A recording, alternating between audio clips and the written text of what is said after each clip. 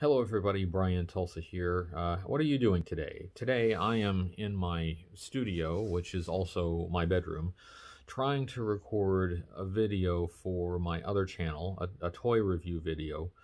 Um, this has been a struggle lately. I've been trying to um, keep working on the other channel, uh, but while those videos are my passion, they are also a lot of work. Um, and that's what's gotten in the way. Um, I've been dealing with some depression and anxiety lately, um, more elevated than usual, and it's kind of my fault. Um, I uh, asked to be taken off some of the medication, one of the medications that I've been on.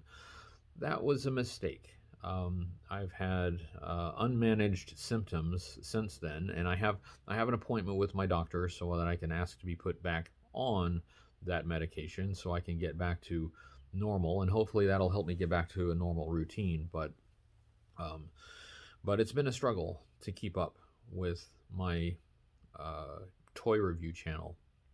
Uh, there are things that I want to do, things that I'm trying to do, but my brain is getting in the way. Um, but at least I know what the problem is, and I know um, probably how to uh, fix it or at least make it better. So I wanted to touch base with you. Um, I miss you guys. I never stop thinking about those of you who have stuck with me for all of these years. Um, I never stop thinking about you guys, and I want desperately to get back uh, to our routine where we get together and talk about toys every every week. Um, but I'm posting this on my Bryan Tulsa channel because this is a personal update. Um, right now, it is really cold outside. We are expecting uh, a winter uh, storm.